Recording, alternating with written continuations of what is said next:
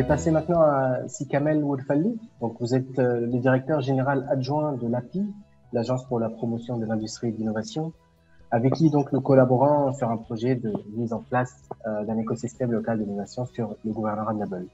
Et Sikamel, je voudrais juste avoir votre avis sur donc le pourquoi et, le comment peut-on mettre la start-up, euh, donc Marc, on a parlé un petit peu, mais comment on peut mettre la start-up et l'entreprise innovante tunisienne au cœur du processus d'innovation territoriale euh, Merci Simezen. Donc, mon intervention va aussi se passer en trois temps. donc, je vais parler tout d'abord de, de, de l'entreprise, de la réalité de l'entreprise. donc, notre vision, c'est que euh, la relation étroite entre l'entreprise et l'innovation. Euh, en effet, l'innovation permet à l'entreprise de saisir des nouvelles opportunités euh, de marché, principaux domaines d'activité sur lesquels elle, elle opère. toujours dans la logique de l'entreprise, c'est le développement continu. donc, l'entreprise, à travers l'innovation, elle peut développer des avantages compétitifs et euh, pour mieux valoriser donc son savoir-faire et aussi pour euh, changer de méthode de travail euh, grâce à l'innovation.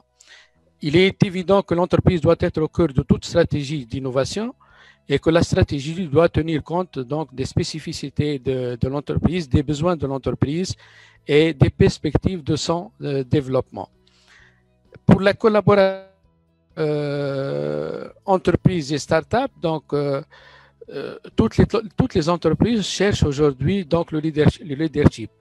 Donc, dans un monde en pleine mutation, avec l'introduction des nouvelles technologies, la digitalisation, tout, ce, leadership peut être mis en cause et pour garantir ce leadership, les entreprises doivent impérativement se trouver dans euh, dans une logique de développement en s'appuyant sur euh, un écosystème de start-up qui sont plus dynamiques et plus flexibles et qui peuvent donc euh, aider l'entreprise à se développer dans un laps de temps différent.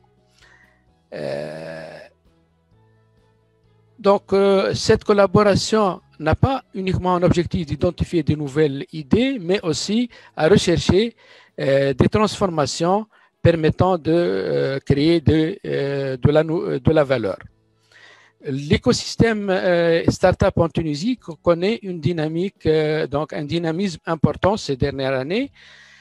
Les, les, grands groupes prennent, prennent de plus en plus conscience de la nécessité de faire évoluer ce process. Donc, de, de faire évoluer leur processus et mode d'innovation en s'appuyant sur les capacités. Ceci donc donne deux avantages. Euh, au niveau des startups euh, qui sont euh, fragiles durant les premières années de leur existence, ils peuvent donc saisir l'occasion d'avoir des appuis des grands groupes. Aussi, donc, le grand groupe apporte à la startup et aussi une aide pour la communication et le marketing. Pour les grands groupes, donc l'intérêt est évident, donc c'est développer Kamel, vous êtes, euh, votre micro a été coupé. Donc, je, reprends. Donc, pour les, pour pour les startups, euh, l'avantage, il est clair. Donc, elles ont plus de visibilité, plus de communication.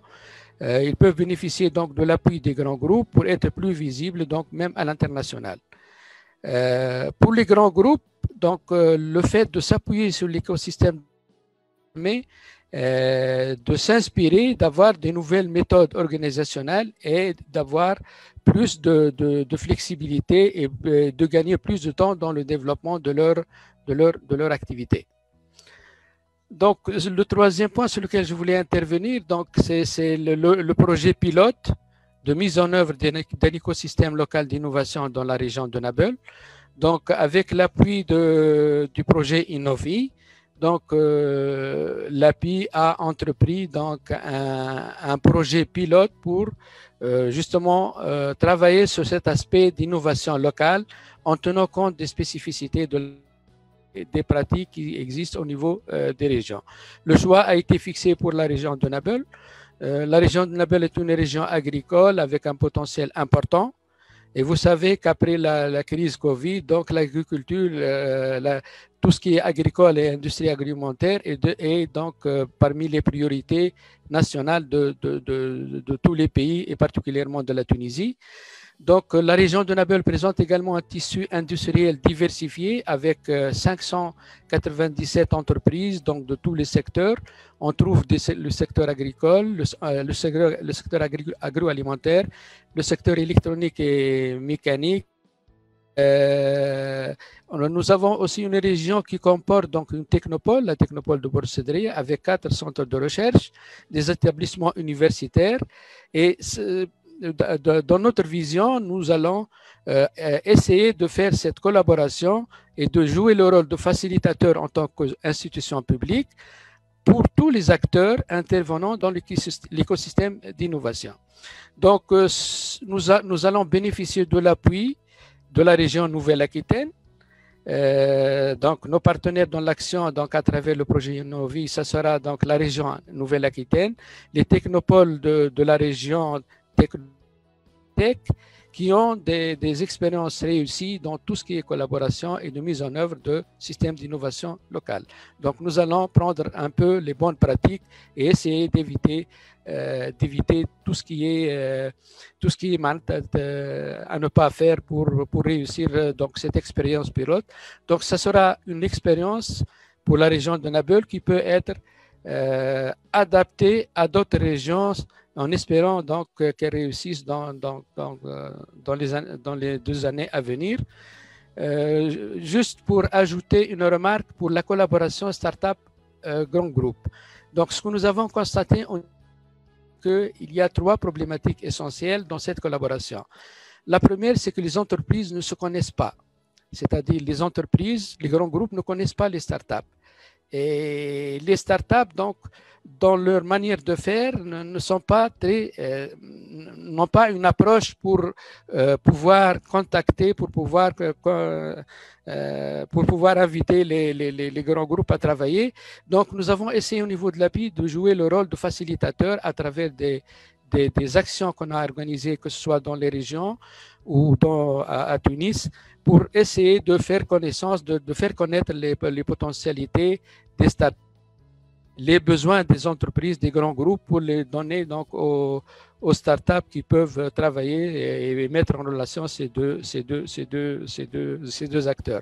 Deuxièmement, donc, généralement, dans la plupart des cas qu'on a rencontrés, c'est que les grands groupes ne, connaissent pas exactement leurs besoins, n'identifient pas clairement leurs besoins, ce qui rend un petit peu donc, euh, la démarche et la collaboration euh, entre les startups et les, grands groupes un peu donc euh, euh, donc au, départ elles ne démarrent pas dans de bonnes conditions et puis donc l'introduction de la dans le grand groupe avec les, ces différents départements et puis elle aura plusieurs visions plusieurs c'est-à-dire plusieurs visions des besoins des différents départements et comme ça donc elle peut être éparpillée entre les différents besoins. Et merci. Merci Sikamel et merci beaucoup, euh, surtout sur votre dernier point, parce que vous avez en fait, vous avez euh, fait mon introduction pour la suite, donc c'est une très très bonne transition. Merci beaucoup encore une fois. Euh, je vais passer à Sikamel. Sikamel, Sikamel. Merci Simezen. Bon, pour ma part, donc j'ai une première proposition qui concerne donc la promotion de la culture de l'innovation orientée marché, parce que donc, il y a plusieurs, euh, euh, plusieurs initiatives qui ont été faites par différentes structures, notamment par l'API, donc pour organiser des séminaires à l'échelle régionale pour la promotion de cette culture d'innovation. Euh, mais cette fois-ci, je, recommande qu'on insiste sur l'aspect marché parce que l'innovation, ça concerne la mise sur le marché d'un produit ou d'un service innovant. Euh, aussi, donc, je, propose de renforcer l'articulation entre les grands groupes et éventuellement les PME et les startups. Donc, nous, nous sommes engagés à le faire à travers des, mises en relation, à travers des manifestations qu'on organise pour faire connaître donc les potentialités euh, des startups aux entreprises et, inversement pour proposer des problèmes d'entreprise qui peuvent être résolus par, par des startups.